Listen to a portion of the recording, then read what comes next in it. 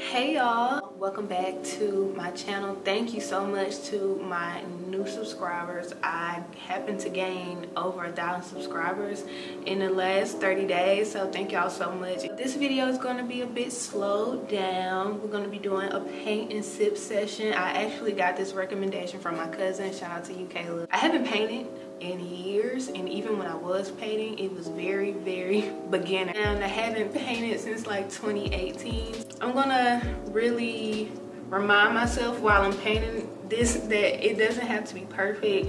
The whole point of it is just to unwind and relax.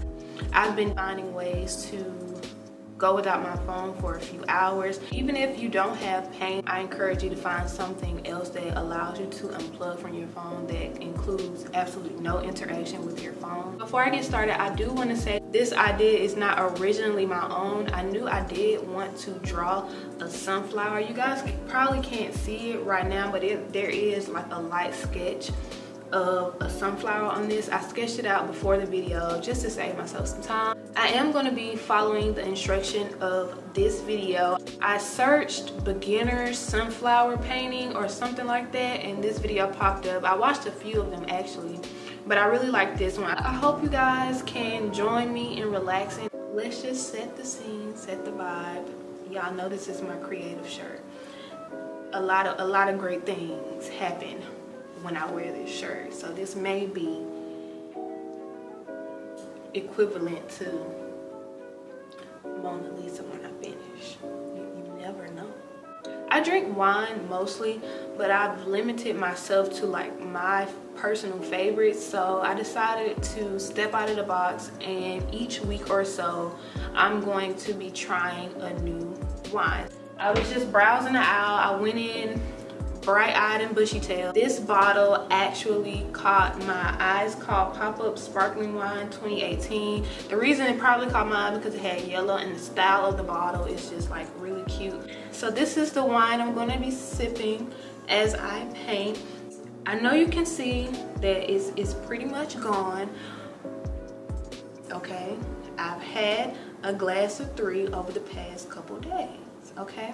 But i did save some for this video and just a heads up if you do decide to give this a try like i said i did find it at target. Um, i think it was like 13 between 13 and 15 dollars. It's basically champagne which is sparkling wine. It is 13% alcohol, so if you like sweeter wines, this may not be your fave, but this is definitely something that you can sip and relax with. So I'm glad I chose this. I think it fits my aesthetic perfectly. So yeah, this is gonna be the sip part of this video. Grab your wine, grab your paintbrush or your pencil or whatever you're gonna be doing in this time, and I hope you guys enjoy.